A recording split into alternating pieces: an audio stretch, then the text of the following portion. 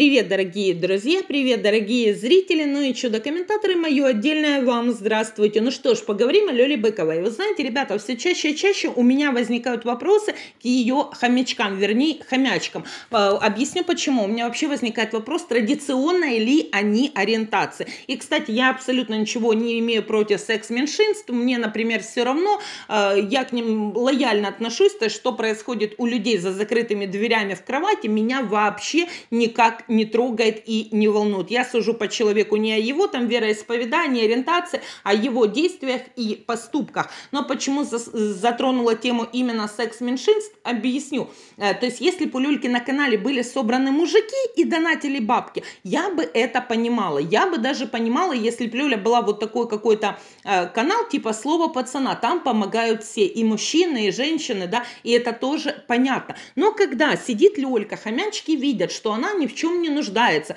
Она сама об этом говорит. Понятно, она там давит э, по-всякому им на психику, влияет на них, но сам факт. То есть они видят, и человек упорно им говорит, я не нуждаюсь, но дайте денег, и они дают – у меня возникает вопрос их ориентации. И объясню, ребята, почему. Э, Лёля мне напоминает женщину. Женщину, за которой ухаживают мужчины. Но обычно это работает так, да, то есть э, мужчина любимую женщину хочет радовать, удивлять, он берет на себя ее проблемы, старается решить эти проблемы либо самостоятельно, э, самостоятельно либо участвовать да, в ее проблемах и помогать эти проблемы как-то петлять. Но обычно это работает именно так. Так, и мало того, да, мужчина хочет радовать женщину, то есть какие-то цветочки, какие-то конфетки, какой-то поход э, вдвоем, независимо от того, есть дети, нет детей, да, но вырваться именно вдвоем, какое-то там свидание, там, я не знаю, кафе, ресторан, кино сходить, просто погулять, э, какой-то подарок сделать, то есть, да, вот эти вот моменты обычно делает мужчина. Есть такая категория женщин, да, которая все больше и больше требуют от этого мужчины. То есть хочется еще больше. И, и, и эта категория женщин, как правило, да, вот у меня есть проблема, э, реши ее, пожалуйста, я вот тут посижу и понаблюдаю, как и это ты распетляешь. И что вам это напоминает? Согласитесь, вот такие же отношения у Лёли с ее хомячом. То есть Лёля их выходит, озадачивает, да, вот как такая изнеженная, избалованная женщина, что сегодня я хочу вот это вот. Пожалуйста, сделайте. И манипулируют. Почему? Потому что, конечно же, каждая женщина знает, за какие ниточки потянуть, э, дернуть, так сказать, какие ниточки натянуть. Ну, в общем, чтобы добиться от мужчины то, чего она хочет.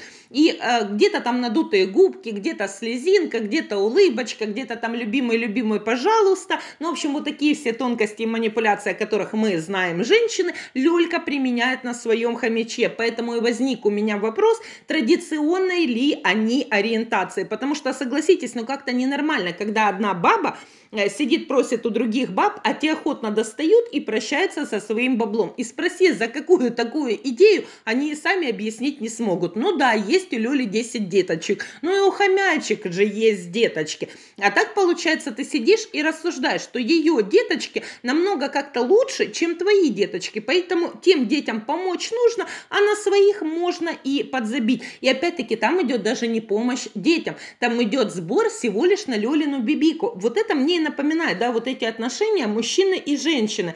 Э, когда мужчина типа, да, блин, дорогая, хочешь машину? Бери. Вот точно так же и мало того, не просто хочешь машину бери, а еще мужчина упрашивает, да, вот пойди сдай на права, я хочу купить тебе машину. И тут бах, я не могу типа купить за наличку, возьми кредит, но я его оплачу. Что вам, ребята, это напоминает? И потом, конечно же, он пыхтит, тужится, корячится и платит этот злополучный кредит. И платит его до победного. Вот именно такие отношения у меня ассоциируются с Лёлей и ее хомячом. Поэтому и возникает вопрос, какой эти дамочки ориентации. И, ребята, повторюсь, я ни в коем случае не хочу никого обидеть, но у меня именно вот такое впечатление и такое мнение об этих хомячках. Но нелогично, когда ты работаешь, твой муж работает, а ты какой-то Лёле отдаешь часть заработанных денег. И ладно, когда это там 30 рублей, 100 рублей, но когда это 1000, там 500 рублей, возникает вопрос, что тобой, с тобой не так. И даже вот эти посоточки тоже много-много вопросов, потому что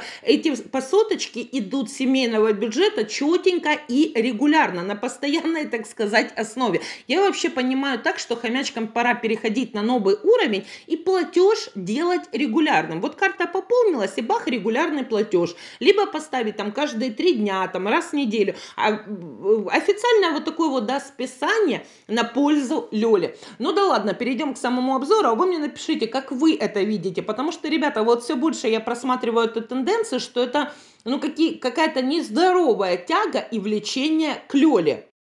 Ну и, конечно, сам обзор. Лёля, ребята, а, в стриме смотрит, отвечают ей хомячье взаимностью или не отвечают. Действительно, вот теперь она мониторит именно это. Они должны проставить плюсики, отчитаться, что они теперь на стриме.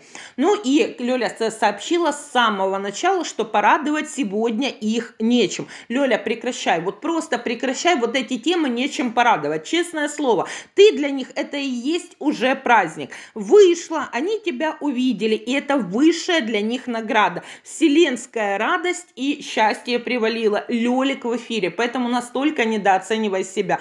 И вот ты появилась, хомячье бросила все и прибежала на этот стрим. И, кстати, ребята, для меня как-то удивительно то, что люди в вечернее время смотрят Лёлькины стримы по полтора часа, по два часа, и это выходные дни. То есть, простите, если бы у меня э, стоял приоритет провести это время со своей семьей, даже просто с мужем, я не знаю, по прогуляться, посмотреть какой-то фильм и э, полялякать, я не знаю, там взять э, бутылочку винца, распить, да, с какой-нибудь э, вкусной закуской и просто поговорить вдвоем с книгой, поваляться, я бы отдала предпочтение э, воскресный вечер, например, или выходной вечер провести именно так, как и любой другой вечер, чем, например, тусить у Лёли на стриме. А так они всем своим говорят, да, что там, типа ували, у меня Лёлин стрим. И это, в принципе, тоже говорит о том, насколько эти люди одиноки даже в составе семьи, что им приятнее проводить время с Лёлей, чем с родными и близкими людьми.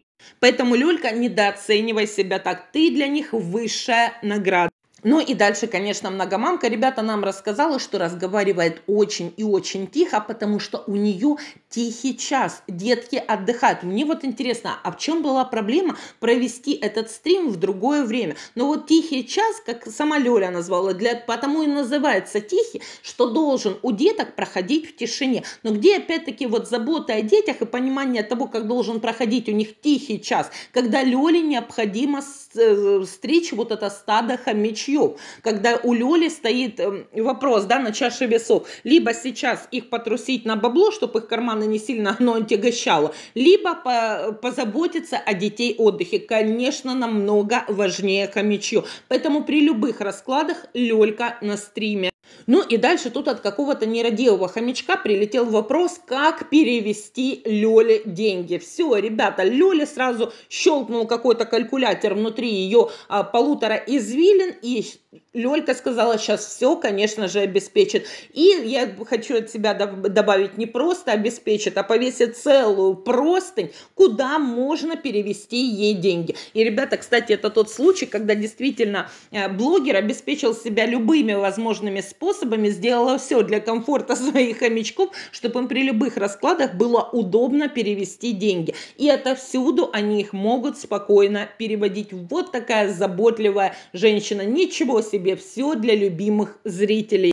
Ну и при этом Люлька не забыла добавить трагизма. Опять опека это злополучно. Ну что это за люди такие нерадивые? Сколько можно чего-то хотеть от Лёли? И как Лёля объяснила, занимаются они только тем исключительно, чтобы а, забирать детей. А как помочь? Нет, ни хрена они не делают. А Лёлька идет на надрыве. Тачки с говном сама таскает. Вот действительно, опека, какого хрена вы еще не приехали к Лёле и не таскаете ее кизяки? Почему вы еще не приехали приехали к Лёле и не варите вместе с ней сыр. Ну что вы так вообще охренели и от рук отбились? И что самое интересное, Лёлька не понимает, да, что есть какой-то должностной устав, есть понимание, что входит в людей обязанности, что не входит. Опека для того и есть, что контролирует, чтобы а, какие-то, да, там семьи, например, чтобы с детьми было все хорошо и благополучно. И Люлька действительно не понимает, почему же они к ней настолько часто и регулярно приезжают. Люлька, я тебе отвечу, благодаря твоему каналу, благодаря тому, что на этом канале лично ты собственными рученьками транслируешь и благодаря твоему языку, потому что именно ты это говоришь. И сколько раз, ребята, она уже похоронила своих детей. И сколько кликбейтовых названий она уже использовала для того, чтобы привлечь аудиторию. То она типа готова похоронить детей, то типа у Жени они с голоду померли, потому что Женя не платит алименты. И психически здоровая мама никогда такое не то, чтобы даже не произнесет. Она даже в мыслях такого не допустит. В отличие, конечно, от Лёли. А потом волна возмущения. Какая плохая опека. И вообще, ребята, все кругом плохие, одна Лёля Робин Гуд. Ну и дальше Лёлька рассказала, что как только приезжают ее а, старшие дети, Лёлька может сразу выдохнуть и расслабиться, поболеть в сласть. Именно этим Лёля и занимается на досуге, как только приезжают дети. И я так понимаю, что дети приезжают не проведать мамочку, не побыть с мамочкой, младшими братиками, сестричками, а приезжают исключительно для того, чтобы заменить многомамку и бежать к ее коровам. Лёля, обрати внимание, сколько у тебя из-за этих коров головника. Нафиг они тебе нужны, тем более за два ведра молока. Толку от этого не будет никакого. Прекращай, пока не поздно, ведь ты на надрыве идешь. Ну и, конечно, Лёлька не забыла добавить, что она та мама, которая вырастила достойных детей, достойных людей. Вот у остальных ни хрена не достойны. Смотришь на Лёлинок и понимаешь, какие это достойные чада. И, кстати, все чаще и чаще Лёля сама себе противоречит. То она деньгами помогает и старшим детям, потому что они еще нуждаются в ее финансовой помощи. То она им ни хрена не помогает, и они самостоятельные сами в состоянии заработать себе бабла. Короче, вот опять-таки какие-то непоняточки. Один день одно, другой день совершенно другое. И, кстати, когда вот Лёля заявляет, я вырастила достойных людей, мне интересно, а по какому э, принципу, да, по каким критериям идет сей серьезный отбор? Достойные это дети или недостойные? То есть в нам понимание, если они приехали, подоили ее коров, вывезли две тачки кизяков, то это конкретно достойнейшие люди. Ну и дальше, ребята, конечно, тема Хюндая. Кто-то там мне писал в комментах, и Лёля называла так ролики, что якобы там Саша разбил машину. Ребята, я в это не верю, потому что сама Лёля ранее говорила, что у Саши нет прав, и он не имел права сесть за руль. Поэтому, конечно, Люлька просто с какого-нибудь обзорного канала, я просто не отслеживаю, не знаю, с какого украла эту тему, да, для себя, и кинула на затравку э, зрителям. Тем более после того, как она сама сказала, что этот ролик шикарно зашел. Это за последнее время впервые, когда у нее ролик вылетел в топчик. И все благодаря громкому названию. Нет, это было плановое обслуживание машины, о чем сама Лёлька и заявила. И, кстати, ей пришлось даже машину на неделю оставлять в сервисе, потому что не было у многомамки 24 тысячи заплатить за плановое ТО. Ребята, и очередная ложь, трендеж и провокация. Ну, блин, кому, Лёля, ты звездишь? Не было 24 тысячи. У меня возникает вопрос, а где тогда э, бабос бабосы, которые хомячье собирает на бибику. Но если у тебя не было денег, во-первых, да, первое, ты не будешь тратить время и бензин, катаясь туда-сюда, ты дождешься свою машину, снимешь оттуда 24 тысячи, и э, уедешь на своей машине. Но Лёлька нет, ребята, она уехала домой добывать эти деньги. И вот реально практически две недели она добывала 24 тысячи. И опять-таки вот какие-то оговорочки. То неделю она добывала 24 тысячи, то две недели добывала 24 тысячи. Ну, короче, наконец-то она их добыла. Поэтому Машину она забрала. Ребята, ну вот согласитесь, какая ложь. Конечно, что-то Лёля не договаривает. Ну и в промежуточках, пока Лёля рассказывает о всех своих тяготах и лишениях, хомячье там же написывает, что Лёля это уникальная семья. Здоровье, здоровье и еще раз здоровье. Хомячко, хомячье, вы хоть поведайте, в чем ее э, уникальность? Уникальность не Лёлина, уникальность ее рогатки. А это разные вещи. То есть выплодить, да, и э, вырастить, это совершенно разные дети. Вот для того, чтобы э, вещи, для того, чтобы рожать, большого ума не надо. И наличие мозгов тоже не обязательно. Вот ты, да, пошла, чпоки-чпоки сделала, осеменилась, выплюнула через 9 месяцев и до свидос. То есть э, такие маргиналы перекидывают, да, дети у них как трава растут, а в Лёлином случае точно такая же трава, только под присмотром помощницы. Поэтому, когда вы пишете «уникальная семья», в чем уникальность этой семьи? Уникальная семья в том случае, когда люди берут за своих детей ответственность на себя, рожают столько, сколько они в состоянии поднять и обеспечивать, не рассчитывая на государство, не рассчитывая на хомячье, не рассчитывая на то, что кто-то должен что-то дать, кто-то должен пожалеть, одеть, одеть обуть, накормить и так далее. Вот тогда это достойные родители. А вы называете уникальной семьей, вы так и говорите, что у Лёли уникальная рогатка. Вы почувствовали разницу между уникальной семьей и уникальной рогаткой? Поэтому называйте вещи своими именами. И, конечно, Лёлькиной рогатке необходимо пожелать здоровья, здоровья и еще раз здоровья, потому что в последнее время Лёлька заявляла, матка стала ленивой. А коль матка ленится, продолжение Лёлькиного потомства вы можете больше не увидеть. Ну и дальше, конечно же, Люлька, как всегда, надеется, что скоро кредита не будет. Не будет до такой степени, что он просто у Лёльки испарится. Лёлька, я верю, что это чудо обязательно произойдет. Вот я уверена, что хомяки тебя услышали. Они должны как мантру себе в голову это вбить и только тем и жить э, вот этой твоей целью срочно испарить от себя этот кредит. Я думаю, на досуге именно этим они и займутся. Ну и, конечно, Лёлька не забыла здесь же в замес кинуть бывшего а, мужа. Как она его называет? ЕП мудачок. Лёля, ну в таком случае у тебя и дети мудаки, и ты мудачка. Почему? Потому что ты этому чуваку давала, ты от этого чувака рожала. Да? Это то же самое, как вот женщины говорят, мой муж козел. Но в таком случае и ты коза, и дети твои козлята, потому что ты от козла рожала. И когда ты называешь ЕП мудаком, ну такая же самая мудачка. И дети, ребята, я не оскорблять детей, это да, такой степ ирония, но факт остается фактом. Когда ты замешиваешь э, их отца и оскорбляешь, ты оскорбляешь этим в первую очередь своих детей. И, конечно, тема аварии Лёля нам так и рассказала о том, что если э, действительно ее бы, да, вот этот Саша попал в ДТП, разбил машину, она бы сразу обо всем рассказала, как это было и Жене. Вот она там негодовала, агрессировала и нам рассказала. Конечно, рассказала только после развода, через два годика. Про это ДТП. Я еще тогда снимала обзор и рассказывала, что он разбил машину. И только, по-моему, через годик или полтора, ну, около двух Лёля об этом заявила у себя на канале. Э, потому что до этого Лёля рассказала, что ее машинка Бибика просто сломалась. И просто так она решила получить водительские права. А потом бах и села за руль. И даже тогда, будучи в браке с Женей, почему-то она не открыла всю занавесу правды. И не рассказала, что его тогда лишили лишили водительских прав. А я еще в то время снимала этот обзор и об этом всем рассказывала. И возникает вопрос, Лёля, а почему же так? Ну, если ты настолько искренна и честна со своими зрителями, что же ты только спустя года об этом рассказала? И поэтому, да, Хомячки, может быть, через пару лет и вы узнаете правду, что же произошло с Сашей и Бибикой на самом деле. Ну и дальше, ребята, то, что меня поразило. Лёля с ее же слов, согласитесь, любила Женю до беспамятства, просто до безумия. Ее не остановил даже тот факт, что чувак накануне свадьбы говорит, блин, я тебя не люблю.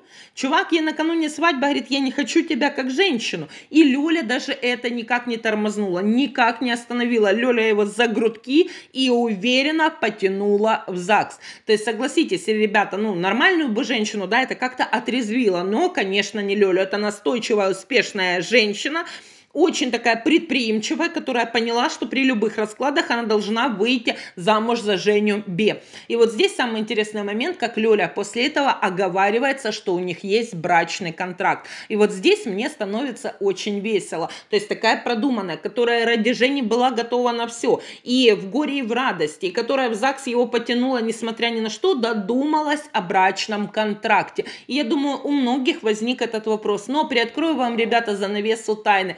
Брачный контракт был подписан намного-намного э, позже, когда Женя конкретно уже в Туровке бухерил, когда попал в первое ДТП и Лёлька его отмазала, она его напугала тем, что у них могут отнять то, что они имеют, и поэтому нужно заключить этот самый контракт и переписать дом на ее старших детей, что Женька благополучно и сделал. Поэтому фактически, да, он не имеет никаких прав и не имеет там ничего своего. И вот так был подписан э, знаете, вот так по-горячему, когда Женька боялся, Лёлька еще угрожала ему тем, что она пойдет... Э, его посадит, если он контракт не подпишет из-за того, что он ее избивал ранее, и у нее были сняты побои. И вот под таким прессом и давлением Женек подписал этот брачный контракт. С другой стороны, правильно, что подписал, отвечай за свои действия и свои поступки. Ну, вот такой вот обзор сегодня получился. Продолжение, конечно, следует. Ну, а я со всеми прощаюсь. До новых встреч.